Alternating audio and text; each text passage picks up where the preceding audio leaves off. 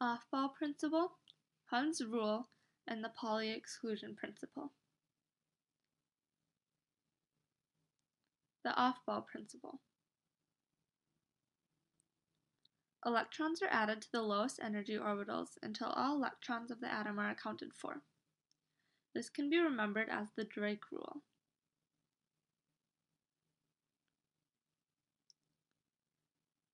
Aufbau is German for building up.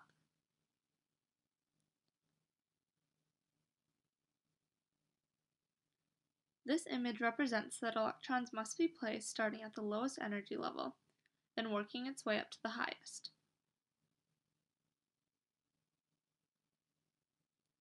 Hund's rule. One electron must be in each orbital before pairing. An analogy for this is the empty bus seat rule. A student must sit in each empty seat alone before sitting in a seat with another student.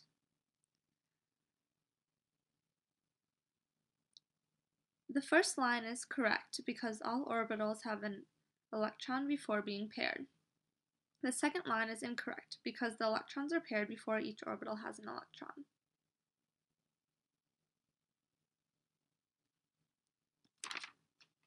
Pauli exclusion principle. Each orbital can hold two electrons with opposite spins, meaning they face opposite directions. Spins can face up or down.